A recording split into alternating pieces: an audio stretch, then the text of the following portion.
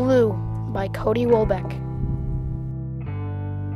Blue is the sky on sunny days.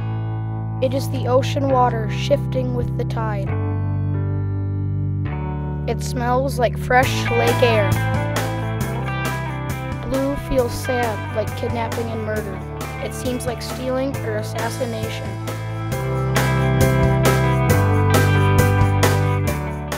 It tastes like refreshing blueberries, Swedish bread, and a cold glass of berry juice. Blue is a cemetery when someone dies, and dead forests.